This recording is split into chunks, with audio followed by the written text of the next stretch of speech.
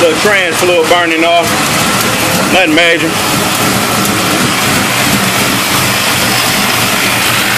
Both came and got me together though.